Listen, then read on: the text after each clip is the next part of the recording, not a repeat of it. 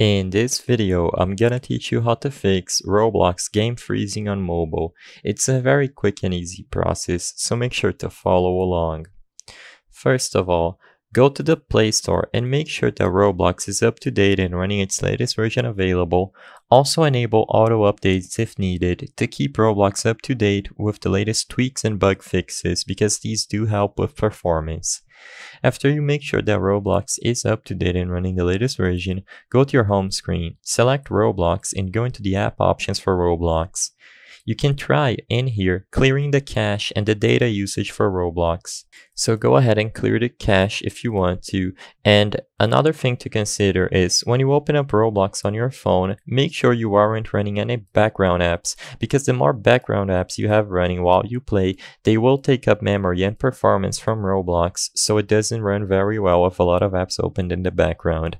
The last step is to check if your phone has any game optimizations. As you can see here, my Poco X3 Pro has the Game Turbo function that allows me to have better performance when I'm playing Roblox as it optimizes the performance of my phone and memory usage.